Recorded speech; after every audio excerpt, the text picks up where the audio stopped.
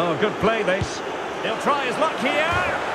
Oh my goodness! Well, here it is again. He goes past past his marker so easily with just a drop of the shoulder, but he's still got so much work to do. Just look at the strength he shows to hold off